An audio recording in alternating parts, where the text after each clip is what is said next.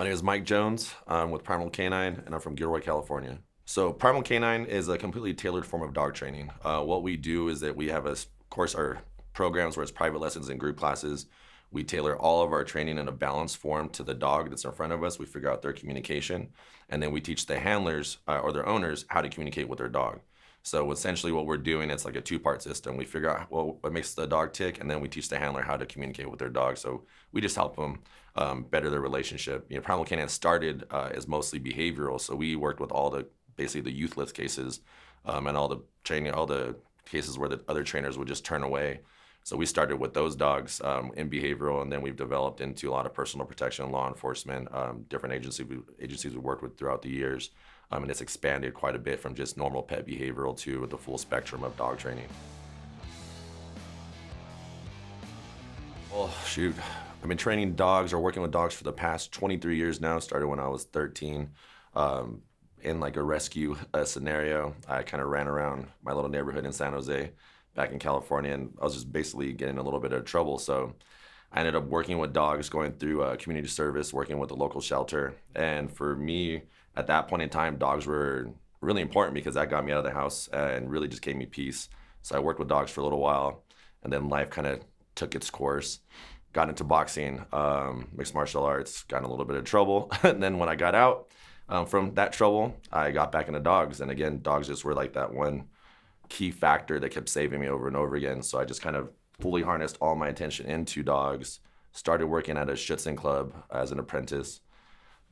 Started learning more and more about the dog world because I started in rescue and like uh, you know the community service work. So it's all positive reinforcement. And then I went into Schutzhund, which is polar opposite of what I was taught. So lots of yanking crank. So for me, it was just kind of bridging the gap and figuring out how to make the communication better for the dogs and for the handlers that we're working with. Um, so started learning more. Started just kind of de- basically devoting my full attention into dogs and learning the process. And roughly eight years ago, I started Primal Canine, and it's just been, I guess I won't say uphill, but you know, it's been a great progress since then.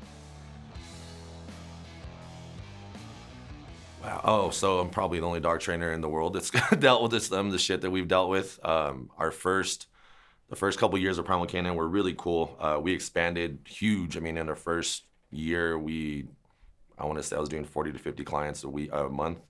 Um, and then it just continued for a couple years. So we kept continue to expand, continue to expand, which meant you know bigger growth. We needed bigger places to train at.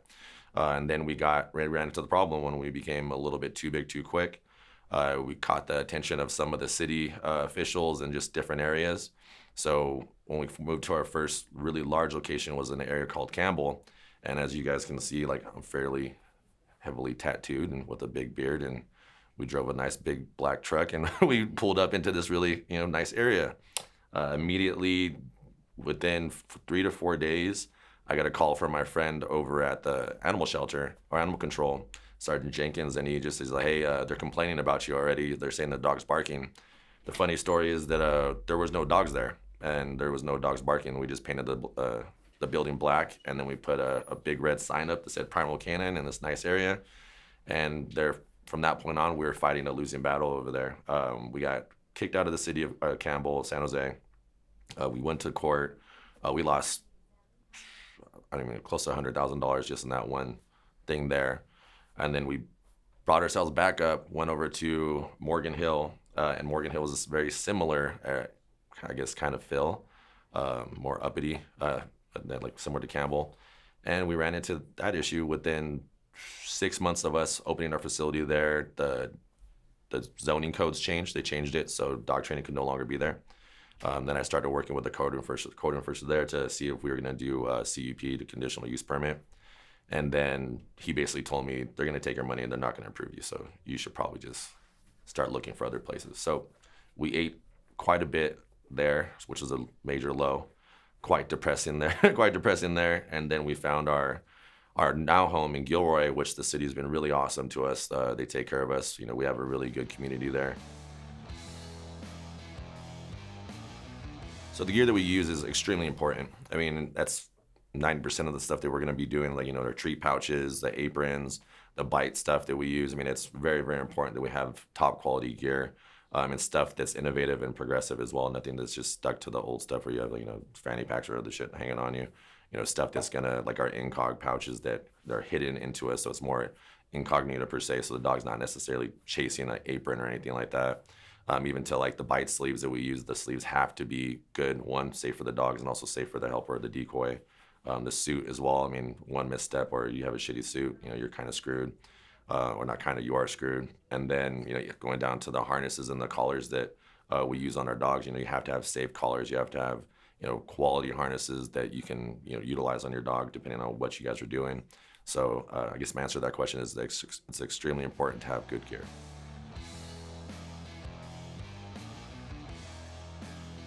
So the history of between uh, myself and Ray Allen, or I guess the history between myself and Matt Wilson, starts with a DM. Um, so uh, one day we were actually in the back of our Morgan Hill facility. I think we were like barbecuing over there, and I was like going through my phone, and then I see this message from uh, Ray Allen, and I was like, the DM started off kind of creepy. He's like, "So I've been watching you from afar," and I just looked, I looked at it, and I think Erin was right next to me, and I was just like, "Look at this shit." I was like, and it's kind of like a surreal feeling.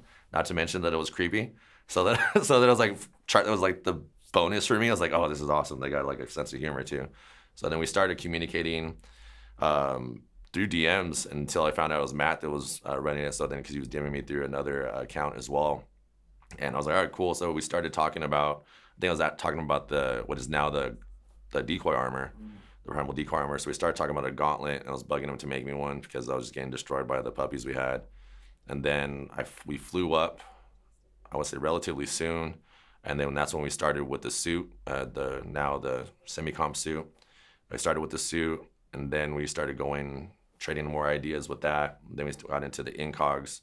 Uh, I think Matt was already working on a pocket pouch, and I just had called or had called him and was just like, "Hey, like, dude, what do you think about this?" And then it started rolling from the pocket to the hoodie um, to now what you know this will be, and then um, then the decoy armor popped, and now I mean I probably talked to Matt and the Ray Allen team at least a couple times a week and bug them for new shit and new ideas and pestering consistently for can we make this? Can you do this? Can you do that? Which I'm pretty sure you guys get fairly irritated with me on a weekly basis.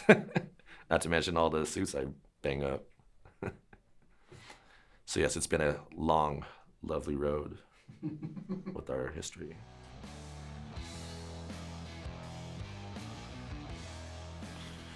So in the last eight years, I've noticed quite a bit of change just with more social media, more content being put out there, uh, and some of it's positive, some of it's negative. You know, a lot of times with you know having platforms and social media, people kind of get on their soapbox and stick to one thing, and it's very preached like this is how you do it. This is the only way to do it. If you don't do it this way, it's done.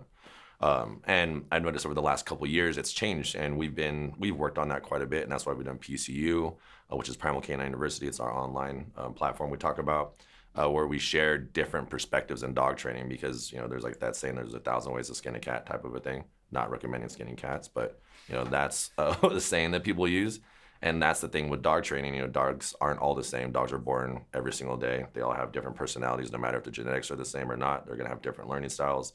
So it's really important to be progressive and share perspective and not shut other people down. So we've been working on that for the last you know few years and just trying to help you know, just share perspectives. And I think that's one of the biggest terms turns in the industry I've seen in the last, like I said, couple years is people are more open minded. They're not shutting people down uh, as much as they used to. I mean, still dog training, so everyone is right and everyone is wrong at the same time. Um, but you know, I've seen a lot more positivity in the last uh, few years, and you know, that's something that we strive to do as Primal Canine is you know continuously not stick to a cookie cutter format. Make sure that we're constantly progressing, um, sharing perspectives, and just continuously continuously learning. So what really gets me excited about you know working with Ray Allen and just the stuff, the projects that we're working on is that I don't really see like a, a cap to it or an end to it. You know, especially with the relationship that I have with the the Ray Allen team. It seems like almost most ideas are accepted, and you know we're continuously working on them, even to a, a fault when I overload them with stuff. So you know, I'm really excited for the future um, with the partnership between Primal Canine and Ray Allen. Um, and yeah, I mean, I think it's going to be a, a fun journey, and we're going to get a lot of cool gear and equipment out.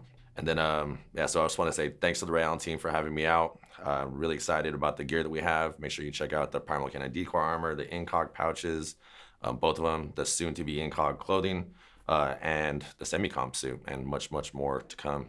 So you can check us out at Primal Canine on Instagram, uh, backslash Primal Canine on Facebook, and then primalcanine.com.